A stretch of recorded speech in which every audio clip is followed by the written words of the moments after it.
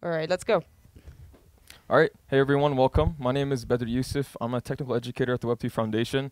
I mainly focus on the code aspect of things. Um, so, really about building blockchains with Substrate and deploying them on Polkadot and everything to do with Rust and kind of the development side of things. If you ask me more about uh, conceptual uh, concepts about Polkadot, uh, I'm more knowledgeable on the side of the engineering. So, yeah, in this workshop and really kind of more an overview, we're going to go over a lot of different concepts. Uh, this workshop will really focus on introducing you to Rust in general, but then also dive more verbosely into how Rust is used in the Polkadot SDK and in Substrate. Because going from vanilla Rust to even something like Ink, like Sasha just showed, you see how it's a little bit, it can be a little bit different. There's some different syntax. And while ink is a pretty uh, easy representation, I would say ru- what Rust looks like. When you get into Substrate, there are definitely some things and concepts which are reoccurring, but also take time to get used to. Um, so yeah, these are just the learning goals of this thing. We want to install Rust and its tooling, which most of you already have, thanks to Sasha, which is really, really good. We don't really have to go through that. Uh, we want to learn the basics of Rust, and then along with why it's actually good for building blockchains specifically, and it sounds kind of like like a buzzwordy thing, but there's actually some very good uh, engineering um, decisions made behind why you would want to choose Rust when you're building a blockchain. Uh, learn why Rust is important. Just oh yeah, that's kind of the same point two times. Uh, we want to learn to write some basic Rust, and then of course the importance of generic programming, since that's primarily what um, Substrate goes over.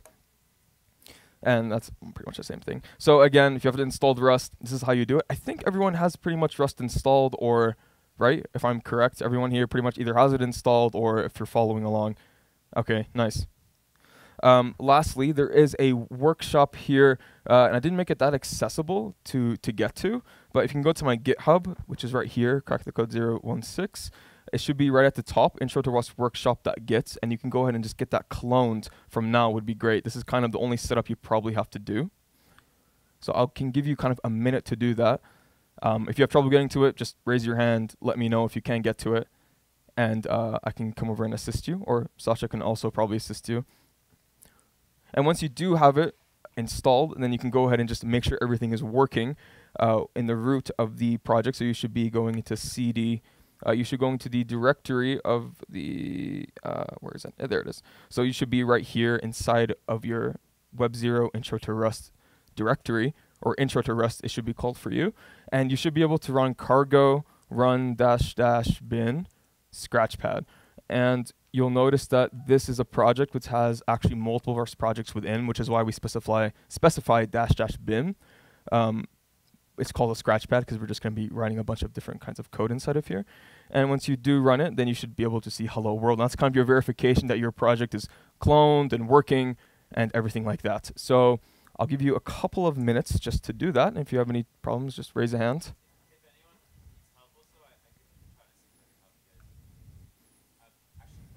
Yeah. Yeah, I probably should have done that. Like the actual repo?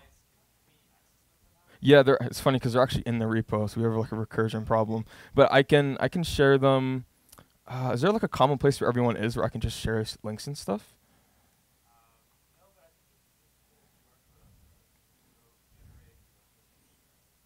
Yeah, that's fine.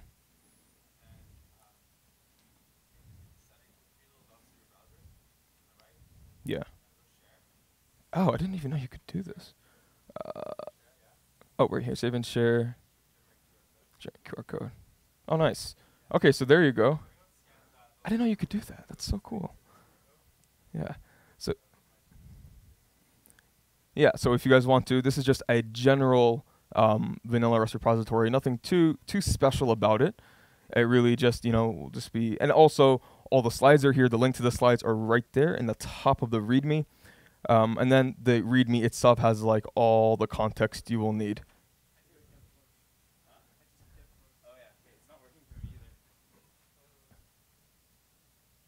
I can just download it and display it larger.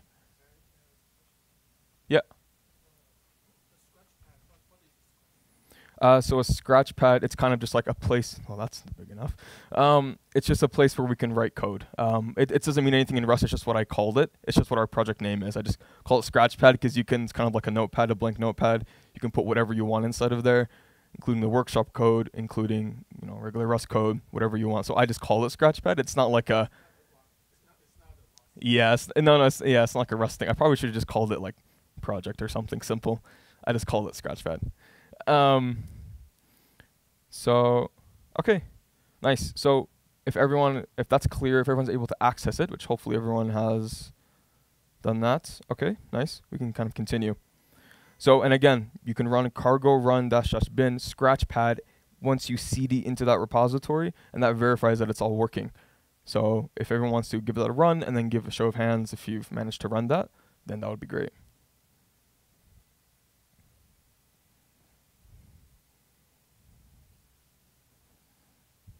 Nice. Okay, we have one, two, three.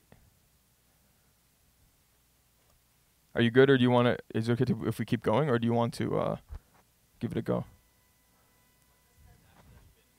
So that's just bin. So this actually, this specific repository has, it's a project that has multiple Rust projects inside. It's called a workspace and we'll get into what that means. So dash dash bin means that we want to run an executable called Scratchpad inside of our Rust project. Since our uh, project is called Scratchpad, um, then that's how we want to specify, okay, I want to run specifically just the code inside of this package and not in another package. So we specify dash dash bin followed by the package name of the thing that we want to run.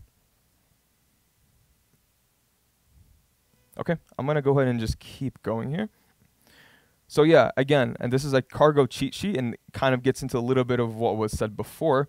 So we have three main cargo commands when you're developing Rust projects. You have cargo check, which is less than actually building something all the way through. It just checks if it can compile, and typically it takes less time than if you were just to run cargo build or cargo run or whatever. Um, then you have cargo run, which builds and runs a project all in one command. And then you have cargo build, which just builds the project and provides an executable. So now let's get into the Rust and Polkadot history. Uh, while you guys, you guys feel free to poke around the project and kind of do whatever you want. So Rust launched in like 2015, and then the white paper for Polkadot came out in 2016, with the first kind of Genesis block for Polkadot being generated in 2020. Now, Polkadot was written in Rust. You can see how they're very closely linked. So it was obvious that you were starting to, they were starting to engineer Polkadot close to actually the early versions of Rust. And you can actually kind of see that progression in the code. Um, and of course, Polkadot is written in Rust, so is Substrate and Cumulus. And these are tools for building blockchains from scratch, which we'll get into soon. So Polkadot also has lots of contributions to the Rust space. I just want to go over this quickly. So things like wasmi, a WebAssembly interpreter, PolkaVM, which is a RISC-V based virtual machine, which can also be as a serve as a replacement for WASM, maybe in the future, we'll see. Uh, things like the scale codec, which is a very simple binary serialization format, and contributions to libraries like libp2p and libraries that are generally used throughout not just the blockchain ecosystem, but in the wider Rust ecosystem. Just by virtue of Polkadot being involved with Rust from such an early uh, time, they're able to make these very key contributions. So why Rust for blockchains? And if you just want to summarize it in one sentence, it's safe and it's fast code. You can write memory safe code very, very quickly without having to be uh, really like a low level engineer. For example, if you've ever written C or C++, you know you have to worry about memory management to a degree and it's pretty difficult. Uh, but with Rust, it takes care of all that for you while enabling you to still get at the level that a low level language can kind of give you. So it's a good option for sensitive applications, right? And another big, big um, plus is the type system is super, it's strict but also really extensible. It's good for writing strict APIs. So it lets you really get very custom but also very strict in that you know the compiler will will yell at you if you do something wrong with those types. So you can be sure while writing Rust that you're not spending time necessarily on issues other than the thing that you're actually writing. So it makes it very versatile. Um, and perfect for blockchains. Also, this came out recently, a press release by the White House where they were actually they cited Rust in the paper on why um on why that really we should be using memory safe languages to kind of avoid the the problems that come with low level programming in general. So just something fun. So here's an example of Rust yelling at you, exhibit number one. If you write Rust, you're gonna get used to the Rust compiler always spitting out error messages at you, which can kind of make your head go around. Um, one of these concepts is called ownership in Rust, and it's really just for avoiding common memory management mistakes. So for example, let's say I have a function called take my value, which takes an argument of a string, and I just print that string out. Doesn't really do anything special. And in, in my main function, um, I call this function using a string, and then later, after I call that function, I want to print it out after I use this function. And what you'll find is that it actually will not let you do that. That's because my name, the variable my name, was taken ownership by take my value. So in essence, this, um, and then it was dropped at the end of the scope of using this. So you can see how we can mitigate, obviously we can mitigate this by using like a reference to it instead of actually taking the value. But that's just one example of Rust kind of protecting you from using something which could have been invalid later, since my name would have been invalid in memory after using it within this function. And yeah, more stuff about Rust because why not? Rust can compile to WebAssembly, which is a big deal, lets you have portable targets. I've seen many cases where for example, if you can compile your Rust code to WebAssembly, then you can use that WebAssembly backend in something else like C++, JavaScript, TypeScript. For example, I wrote like my, my website in Rust, and it compiles to WebAssembly. Um, and then, you know, uh, and then JavaScript can, can kind of talk to that and just have a normal website. Yep, in summary, Rust use cases are just, you can use it for pretty much everything. Um, with varying degrees of complexity, of course. It's not really you know, and in some cases it's easier to use than others. For a web-based context, it can be a little bit, you know, finicky to work with, but in lower level systems programming, it's great. Yep.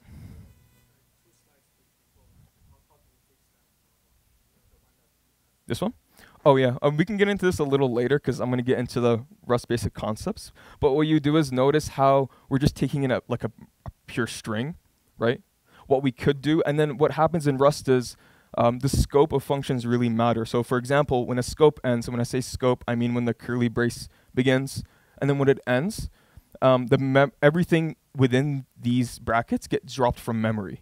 So if I take um, string and I use it in this function, by here, by this line, it's going to be dropped from memory, meaning that if I try to use this later, like down here, it's no longer existent because this function already kind of consumed it. We can solve that by using a reference to it instead. And there's syntax for that. You just use an ampersand symbol, take a reference to string, and then give it back to the main function versus just taking it from the main function and then it just gets erased from memory after take my value is finished running. Any other questions before we move on to Rust 101? No? Okay, nice. So now we're going to quickly go over some Rust concepts. And this is not meant to really like you know, um, there's a lot more to Rust, and these are just some of the highlights. Really, the biggest resource you're going to use as a Rust developer is the Rust book. It's kind of has everything in there along with sample projects. Um, that's the best resource, but we're just going to go over some of the behavior of Rust, some of the syntax, just to get yourself kind of familiarized with it. So the first thing about Rust as purely a programming language, it's strongly and statically typed, so everything has a type. It focuses on memory safety, combines concepts of object-oriented and functional programming. So you'll often find this interesting kind of intersection between the two of these design patterns being used in Rust. And powerful management memory system without using a garbage collector. So unlike a language like Python or JavaScript where you need a runtime and then that runtime has a garbage collector, it can introduce some uh, computational overhead. This is just all statically compiled and run as a like an ELF binary or whatever on your computer. And then just some terminology before we get deeper. So a Rust project or a package is usually called a crate. And then a workspace is multiple crates combined into a single project. And then cargo, which we've used already, is our build tool. So similar to something like npm, right? Um, or any other build slash configuration tool. That's what cargo is for us. So first thing about Rust is variables. And this is probably one of the first things you will encounter as being some uh, showing some interesting behavior which you're not going to be really used to. All variables are immutable by default. Now, immutable means that you can't change the value. You have to explicitly say, hey, I want to be able to change this variable later using the mut or mut, however you say it, a keyword. So you can see here if we say age of type U32, an unsigned 32-bit integer is equal to 22, and then I want to add 1 to it later, it's not going to let me do that. But if I say let age, let a mutable age, let mut age, um, and I changed the type for some reason, but it's it's the same thing basically. It's just an unsigned 64-bit integer is equal to 22. Then I can modify it because I said I'm okay with modifying this variable, and this is done for safety. So that way you don't modify variables accidentally later. You have to explicitly make that decision to modify that variable. Okay, and here's all the different common collection types in Rust. Now, a vector is a growable array. Normally, array an array inside of Rust is something which is static in memory. Um, in order to actually use a growable array to push things to and pop and do all those normal things, you would use what's called a vector or a vec. Um, but you can see here, you can actually create a vector pretty easily just by typing uh, vec with an exclamation mark and then whatever you want to put inside of that array. Um, alternate syntax, you know, the full syntax is something like uh, like below, which is let vector is equal to vec colon colon new, and we'll get into kind of how that uh, comes uh, comes about soon. Next thing, we have a hash map, which is akin to a set or a dictionary. You know, it's just a uh, mapping of a key to a value. And you can see here also how generics come into play, where we want to map unsigned 32-bit integer to another unsigned 32-bit integer, such that if we um, insert that, we can, you know, kind of get ID for value, ID for value, etc. And lastly, may come as a, as a surprise, is the string type, a capital S string. Now note that this is actually different from just a common uh, string. Normally when you write a string in Rust, if you're not using this type, then again it will be um, in your binary and you can't change it, it'll be immutable. So this string is something which you can actually change. Uh, you can actually add characters. You know, uh, it comes with a bunch of different functions like search, replace, splice, all the things that you're normally used to inside of a programming language. And functions are pretty self-explanatory. You declare it using fn, and then you can have parameters. Each parameter has to be typed. It's not like JavaScript where you can't have a type. You have to have a type for each of your parameters. And then, um, let's see, and then your return syntax is just the arrow, so a dash and an arrow, and then to the type you want to return. And notice something interesting is that we can actually return without saying return. We just have to remove the semicolon and that uh, signifies a return for us. So it's pretty concise syntax. I could write return age plus one semicolon, or I could just say age plus one and that's also perfectly valid. Now structs in Rust, if you've coded in Solidity or you know pretty much any other language, decide to declare your custom data structure. So struct followed by the name of the struct and then the fields within that struct so name, string, age, U32, etc., etc. And then of course you can have structs within your struct. So I can say, um, you know, my name is of type name, and then that name has its own fields and so on. And structs can be extended. So you'll notice in Rust we don't really have like classes or anything. We just kind of have structs. And you can add methods to structs by using this um, impl keyword. So impl you know implement person, and then within here you can put in your various methods. For example, here's kind of a constructor method, right? Where we can create like a new person, where later it will look like this. And notice how we use the double colon syntax to call this kind of constructor method, and this returns a new instance of person. And then this function, which is also part of the person implementation, um, simply takes in an already instantiated person. So let's say I create a new person and then I can do person dot say name later, but I have to have a person created first. This one returns a person, right? Returns self, capital S self, which refers to this person type. And then say name is saying, okay, well, I expect a reference to self. I want to be created first, and then I can say name. Like so. And that's why you, you would use the dot syntax. And this will become a little clearer later on as well. Now, traits. Traits is how you define custom behavior for an object.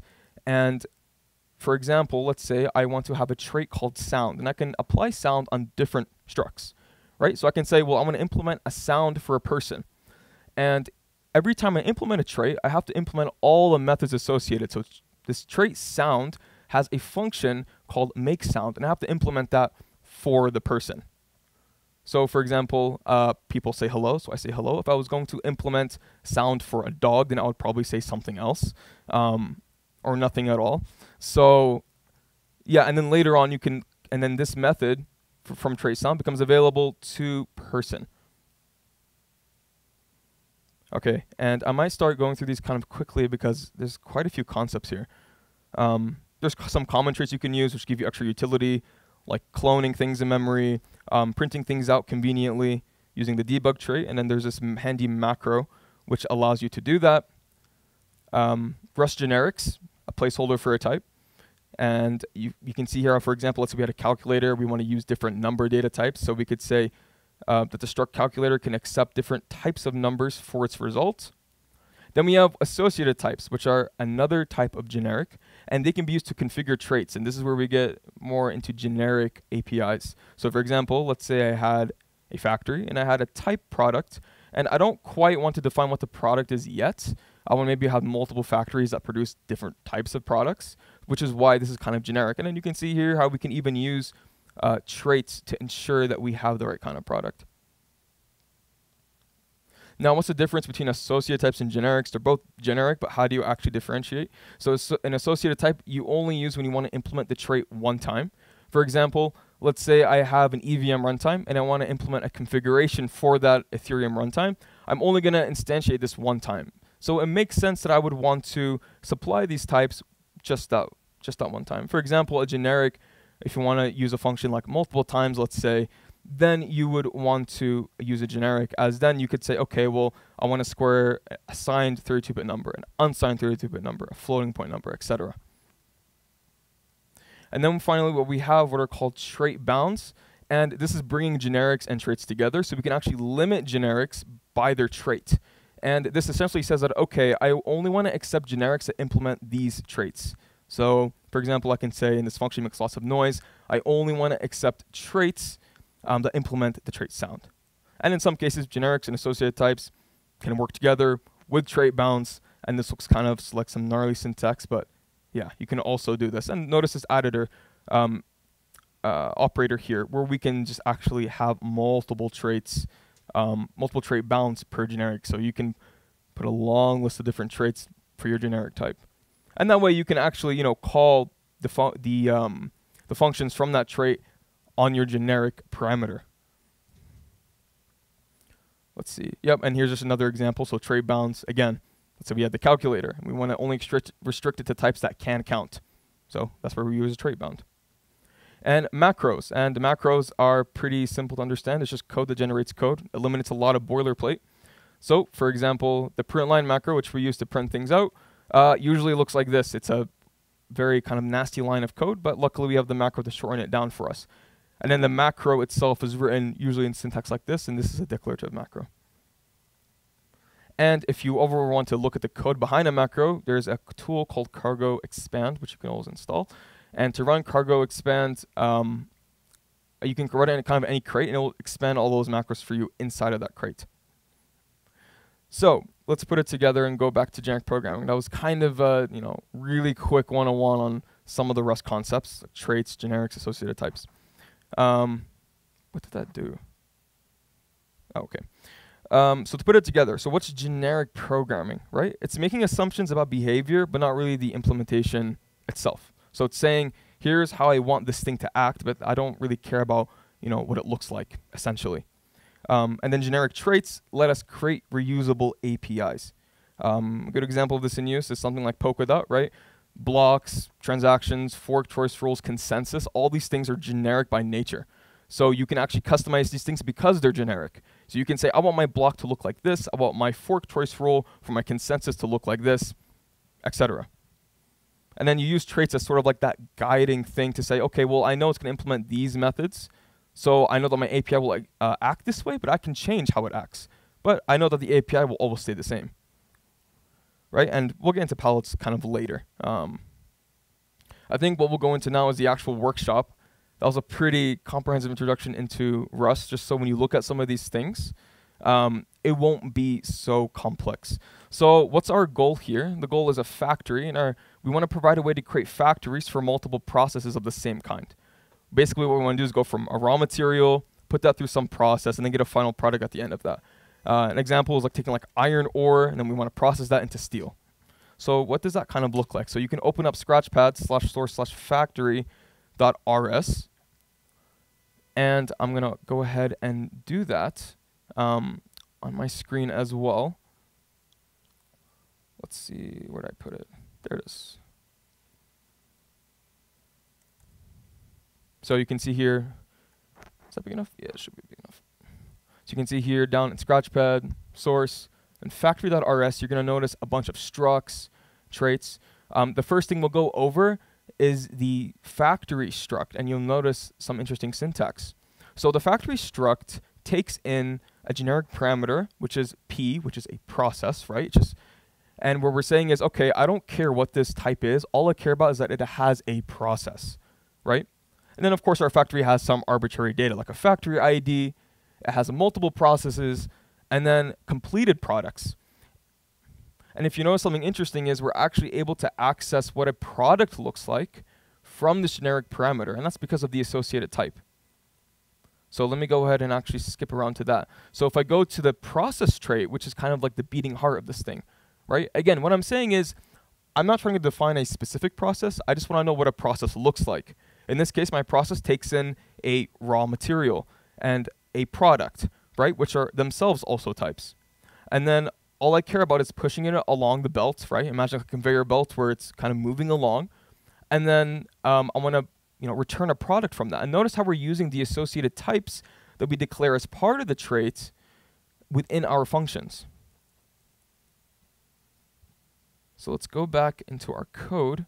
And again, everything is pretty much implemented for you. If you scroll through factory.rs, everything should be here. And if it's not, just raise your hand. But it should all be here, all these different functions. So that we have various functions. And I won't go into all these in detail, but things like creating a new factory, processing all the things inside of our factory, adding a new process to our factory, running the factory, etc.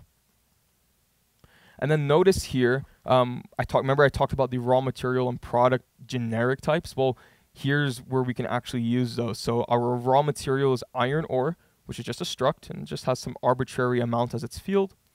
Then our product is steel, and then our process, which we use to um, which we're going to implement our process traits.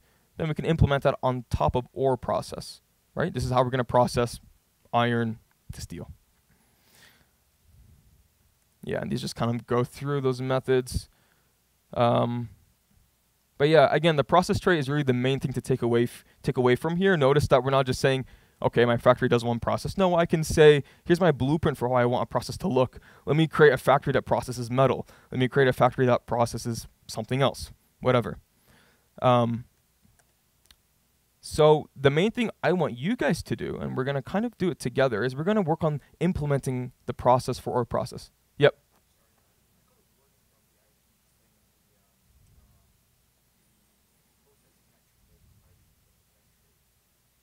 Oh, it's private?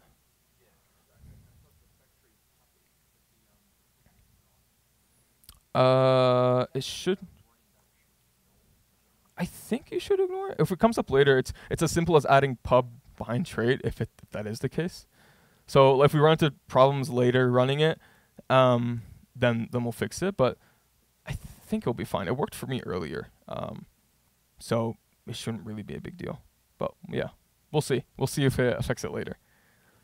So um, because actually the the thing is we won't have to use process when we run it. We're gonna use ore process. Process is just our trait we're really going to be using the ore process. So uh, let's go ahead and go through this line by line, right? So first what I'm going to do is I want to implement this trait process for ore process. I'm going to make this actually even bigger and close this up. So I'm going to say impl process, right? Implement process for ore process. And then what I want to do is I want to now fill in my associated types. So type raw material and I want to say my raw material is iron ore. And then my second associated type is the product. So type product is equal to steel. And you can see here it's giving us problems because we need to implement the functions for this trait um, because it expects these to be implemented. So we have to implement those, which we'll do. And it's pretty simple. And what I'm going to do is kind of copy paste this and then um, you guys can just copy it off of here. If you really uh, have trouble kind of writing it, it's also going to be, you know, if you want to kind of cheat a little bit, go into factory source, main.rs, and the completed code is right here. Um, so you could always grab that if you wish. Otherwise, I will leave this uh, kind of up here. And then our last function is the material function, which is kind of like getter for our raw material. Again, the main thing to note here is that it's kind of using our generic types, right? So I'll leave this up here for a little bit, and if you have any uh, problems with this, just let me know.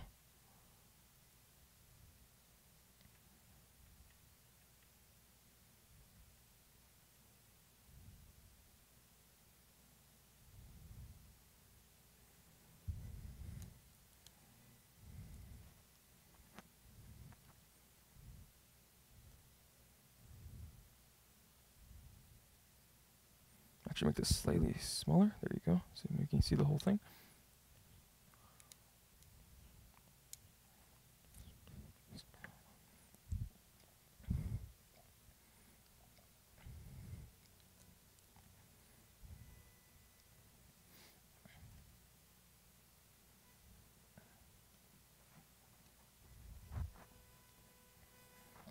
And whenever you have it done, just give your hand a raise.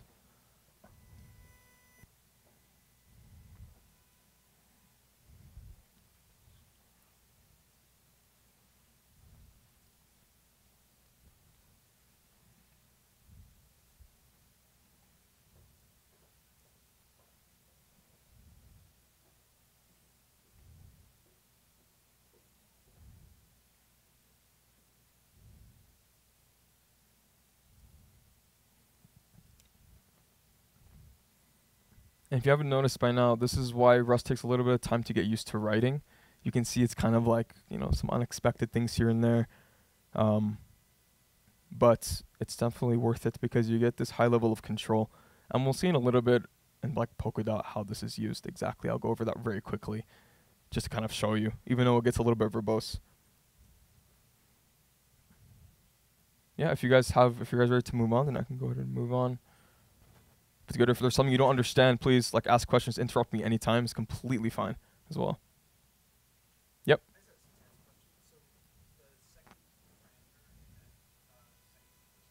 Yep, this one, material. Okay, so what's happening here is notice, so we have the associated type called raw material, right? And we're saying that that's iron ore. And then later we're saying that we want to push something along the belt. So imagine we take uh, a material as our parameter uh, what we're doing is we're actually accessing this associated type. So versus me saying something like, you know, hard coding iron ore, what I can do, and while this is like valid technically, I could actually say this. Um, a perfectly va another valid way is to say self, self referring to ore process, right?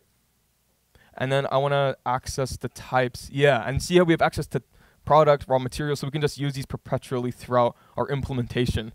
Um, yeah and then the same thing for the return type, so self product. And but you know I could totally just put steel here as well, and that's completely fine.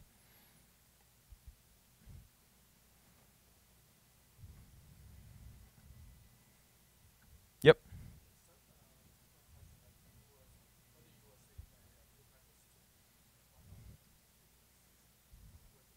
Yeah, I can go over that quickly. Um, so I'll actually go to this uh, the scratch pad since you know it's kind of what it's for. Um, so a string here technically, so there's a reference to a string, which is just like a UTF-8, just regular old string, right? And it will look something like this. So I can say name string. And the type looks like this. So it's a reference to string lowercase str. And then I can put my name. Um, the thing about this though is like I can't modify this. I can't really do much with it. Once it's coded here, it's technically inside of the binary of the Rust program when it compiles. It's kind of like a view only uh, thing, uh, you know, um, perspective of that string of characters. It's not very versatile. It doesn't take up as much space and memory as like a dynamically growing string, right? This is stored on the stack, not on the heap. Um, but like, let's say I want to be able to change the string later, right? I have this, look, a big kind of this bigger type, which keeps track of like the capacity. I can do iterations on this. Um, etc. It gives me way more flexibility, but it's stored on the heap. So it's kind of like a memory, kind of like trade-off, right? The one here is simply storing a reference to something hard-coded in memory, and that's always going to stay there, and that consumes less memory. Um, but I don't get to modify it. It's not a growable array of characters like the capital S string is here. Like for example, I can say string, and I can call string from. Look, there's like a bunch of different APIs which you can use with this specific type. And then I can say like, of course I have to make this mutable, so I can change it, and I can say st string dot, um, I don't know. I think you can add a character. Yeah, look, you can get like the different characters, indices. It's it's you know it's it's a much more flexible type, but, but it's stored on the heap, um, compared to the immutable string which is stored on the stack. If that's clear, I is there anything else?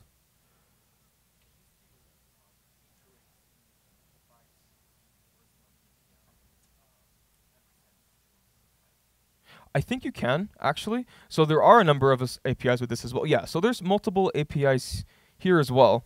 Um, I think the main thing is just mutability. You can't really change it. That's primarily the um, the big caveat there. But you do have access to quite a few. Let's see. Yeah. So we do have access to this kind of characters iterator. Um, we have access to bytes as well.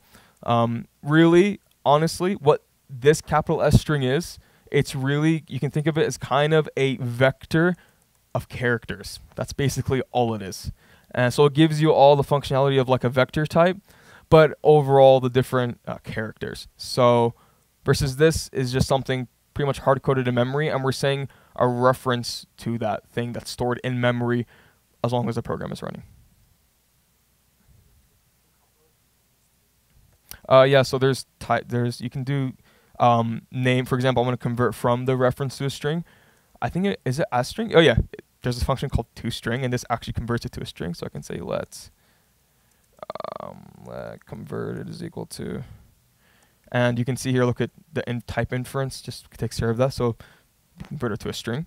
Um, and then basically the way you would convert from this uh, this larger type is you would just use an aspercent symbol and take a reference to it, and that would work just fine. So I can say a reference to like this and then I can say uh, name. And notice how it says it's a reference to a capital string, but it's essentially interchangeable with this. Like I believe I can even cast it to this, and it would be perfectly fine. So you, they're kind of interchangeable. They have different purposes. You know, one is if you're, and it's really only like I would say very relevant in resource constrained environments like embedded devices and stuff. You might not have access to like the heap um, so you would want to use a stack, and then that's where you would want to use something like uh, you know a reference to a string or a reference to a, a, custom array of characters. But that's you know these are more like lower level uh, programming concepts. Yeah. Okay. Did everyone implement the the process? Okay, nice. If we're ready to do that, then we can actually work on actually kind of just like using it, then we can use our factory API and use all of these different things. So if we have people, which have done that, I'm going to go ahead and get started on that process. So now go away from factory.rs and go into main.rs under the same folder, right into the um, actual area of our scratchpad. And then right under the to do right here, this will probably be commented. So go ahead and erase these two comments. Because now what we want to do is we want to use the types from factory inside of our main.rs. So we want to use factory and ore process. So make sure this is uncommented. Uh, and one thing to note is notice how we said mod factory. So by default, each Rust file, like external Rust, Rust file, is a module, and we can import that module and use the types within. And notice that, for example, like factory is public, which is why that I can import it inside of my main.rs. And of course, main.rs has our main function, which is the entry point for every Rust program. So every executable has to have a, a main function, similar to C. So let's go ahead and get our factory running. So the first thing we're going to do is we're going to declare a new ore process. We're going to say let ore process is equal to ore process. And then we're going to use the two curly braces to then put our fields in here. So amounts, I'm just going to put 20 for our amounts. And then the next thing we will do, and don't worry, I'll have this up on the screen soon. We want to actually create our factory. And I'm going to actually make this mutable since we're going to be uh, modifying it. Let me just, so factory, colon, colon, new, since we're instantiating a new factory, we're not going to use a dot operator. And I'm going to give it an ID of zero. Doesn't really matter. You can put whatever you like. Um, and then what I will do is I will then say factory dot add new process and I will add the ore process from before. And lastly, the last step is simply just to run a factory. You can say factory.run. And once you have this typed up, then we can actually run this. Um, and it will just give some really basic output. But that's kind of, you've gone through the whole gist of implementing and then using a generic API and notice how like this factory is already inferred as, oh, it's a factory with an ore process. And that ore process follows what the process trait kind of gives to us. So we know exactly what to do with that. The factory knows exactly how to handle that due to the trait. So when you have this done, you can give a raise of hand or simply run the same command as before, which is cargo run dash dash bin scratch pad. And I'll just give a couple of minutes for that to kind of uh, go through. And if you do run cargo run, you should see this output. I'm, I'm going to go back and look at this function a little bit more. But yeah, just shoot any questions.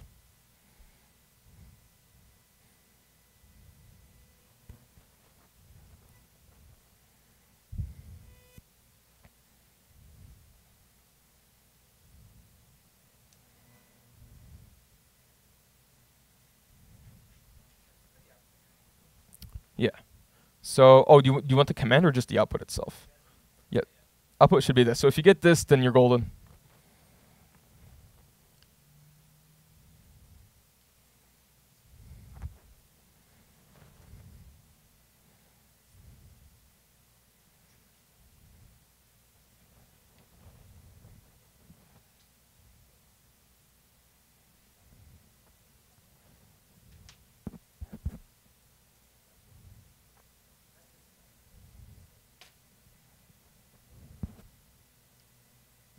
Yeah, there might be a couple of small warnings. Um, don't worry about those unless it impedes on the functionality.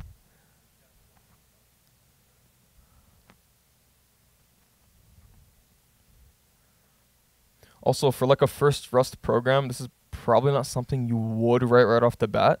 Like it's quite like some concepts to wrap your head around. It takes time, um, and I'll mention some resources to further dive into uh, kind of some of these concepts. Um, but it's how you can achieve, you know, when you have a very generic approach, you, you have this trade off of abstraction, like very abstract, but also high custom, you know, you can customize it however you like, which is really great in some in some scenarios. But then there's some people who just want to use default types, which is completely fine. And there's those options too. Like, you know, you don't have to implement and that's the point uh, which I'm going to get to with like Substrate and Polkadot. There's like implementations for all this stuff. You don't have to sit here and like write all this code, like boilerplate kind of, of like, oh, now I have to implement this and that. I mean, there are in some cases when you want to do really custom stuff, but Substrate takes care of all the stuff for you. This is just scratching the surface of what's behind it. So yeah, if everyone successfully ran it, um, or if you have any questions, please interrupt me and let me know. And of course, you know, if you really wanted to, you could add uh, another process. You can you know, do this ore process underscore two. And you can change the amount to 16 factory the add new process and then you could add second process cargo run and then it's gonna simply output the you know the two processes actually running. Yep nope. Nope. Nope. So what we're writing right now maybe i should have specified this this is just vanilla rust. Like, yeah, this has nothing to do with blockchain right now. This is, you know, regular binaries which you can write on your computer that will run on, you know, anything.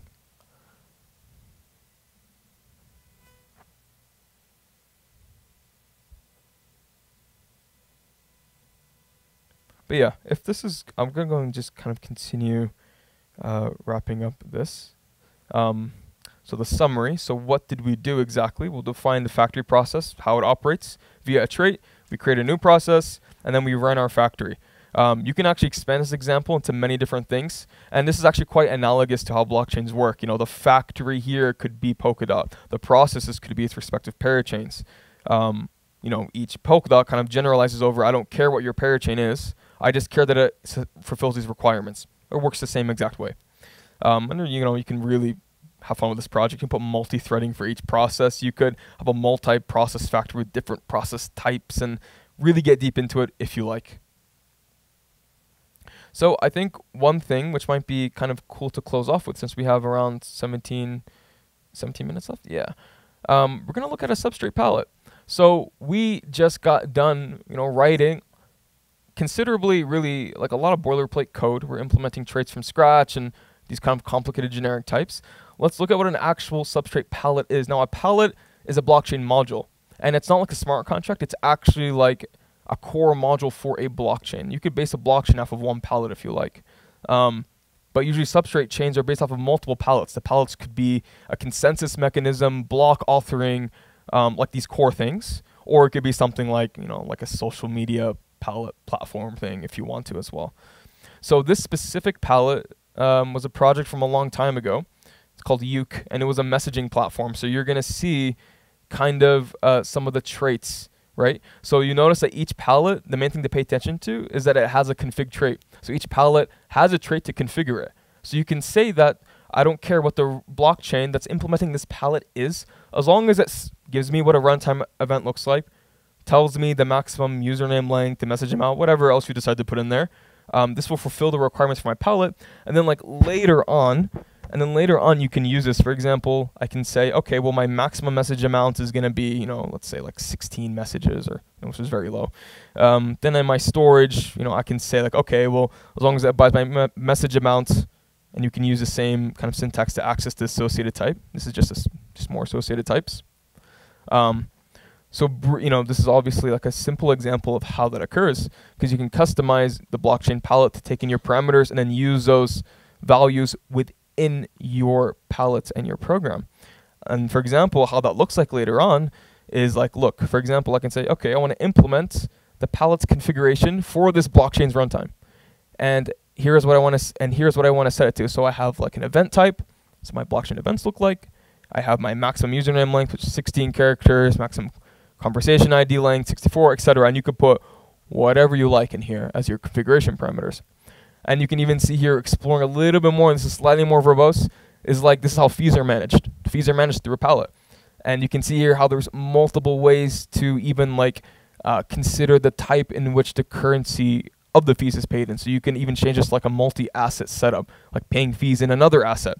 That's the type of custom, you know, the, the, the yeah there's lots of stuff. If you explore a block, uh, one of the substrate runtimes, you're gonna see like it's a very beefy file, and most of it is just you implementing uh, pallet configurations.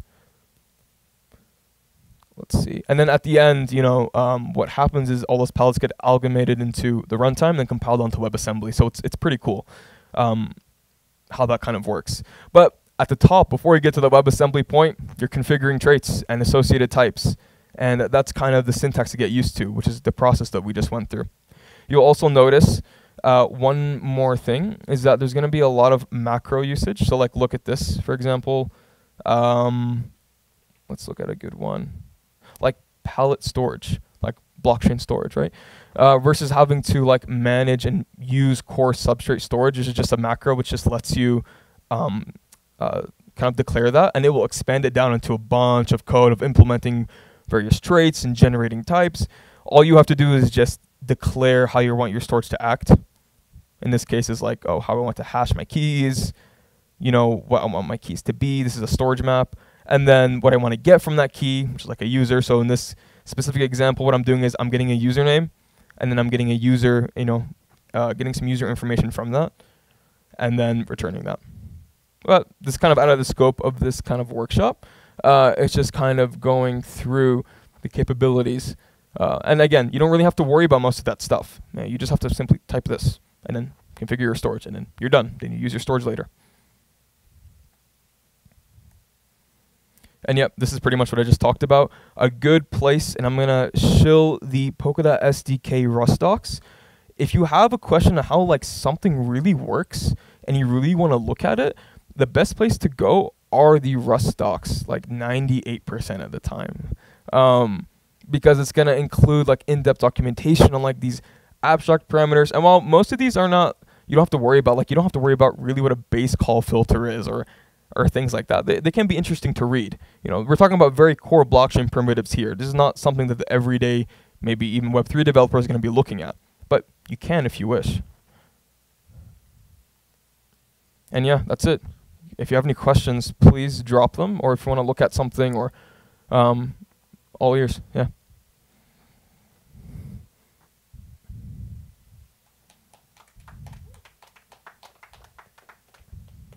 Well, we finished early. Oh yeah, I have more slides.